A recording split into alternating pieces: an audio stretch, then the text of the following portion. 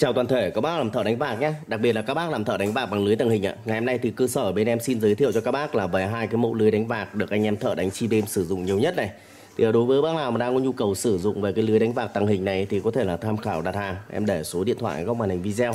Các bác điện đến thì ở bên cơ sở là sẽ lên đơn hàng gửi hàng cho các bác.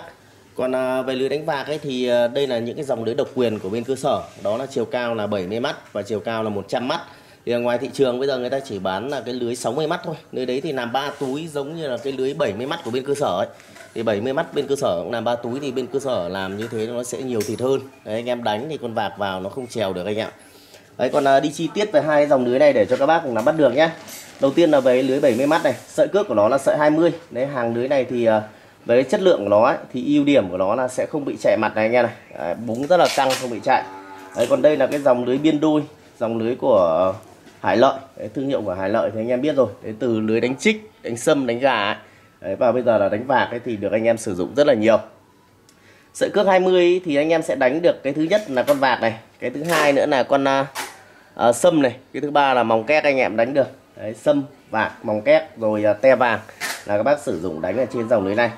À, chiều cao mắt lưới của nó là 70 mắt thì anh em nhân với 12 đấy ví dụ như là à, 70 nhân 12 thì nó cao là 8m4 ấy. 8m4 mà rốn vào làm à, thành à, ví dụ như mở khoang túi tầm khoảng 90 chẳng hạn hoặc là 1m đấy ví dụ như 1m đi thì à, uh, 8m4 mà gập vào ba túi thì nó cao ví dụ 8m4 rốn lại thành 3m thôi. Đấy và cộng thêm 50 phân bụng túi nữa. Nó cao 3 mét rưỡi thì anh em đánh ở trên 6 5 mét ở trên dòng lưới này nhá. Đấy hàng đủ thịt cho anh em. Còn là khoang túi thì thường thường bên cơ sở là sẽ mở từ khoảng 90 cho tới 1 mét đấy tùy từng lô thôi đấy các bác ví dụ thời điểm các bác thích đặt mở khoang 1 mét thì bên cơ sở mở mà mở 90 bên cơ sở mở. Đấy thì làm sao mà lượng thịt đấy đầy đủ để anh em đánh. Nhôi cọc khoang túi hoàn thiện hết này nhôi cọc này. Đấy anh em mua lưới về là cái thứ nhất ưu điểm là chỉ việc đi đánh thôi. Đấy, không phải làm bất cứ vấn đề gì cả. Còn à, sợi dây à, diềm thì toàn bộ là chạy bằng dây diềm cước đúc hết. Đấy ưu điểm của dây diềm cước đúc thì khi con chim à, con vạc nó vào ấy, thì à, ví dụ nó có bồng lên nó trèo ấy, thì nó không trèo được ra nhé đấy khổ lưới thì bên cơ sở là làm hai khổ ờ, để phục vụ cho các bác thợ này. Khổ 50 mét như tem đang cầm này làm à, ba cọc còn khổ 100 thì làm à, 5 cọc. Đối với khổ ba cọc này thì ờ, phù hợp đối với anh em địa hình là những cái bãi hẹp hoặc là anh em đánh chắn khóa. Đấy thì anh em sử dụng. Đấy, còn ví dụ 100 thì chúng ta có thể là tham khảo ờ, về những cái địa hình nó rộng hơn. Đấy, còn tiếp theo thì là về cái lưới vạc à, 100 mắt này.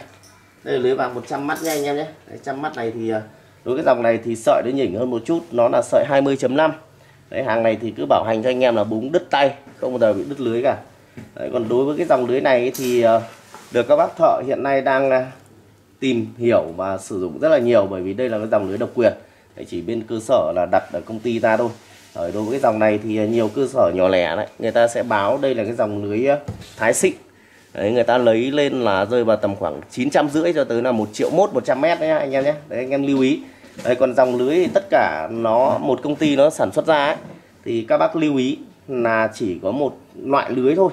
Đấy ví dụ như hàng sinh pha hoặc hàng hải lợi hoặc hàng lưới nhật nó chỉ có một dòng thôi. Chiều cao bắt lưới của nó như vậy. Đấy, ví dụ như cái dòng lưới hải lợi của cái loại lưới đánh bạc mắt 12 sợi 20 này. Đấy ví dụ như tay bốn túi đang cầm cao 100 mắt đấy, đấy thì chưa làm túi thì uh, chưa xỏ dây diềm ấy.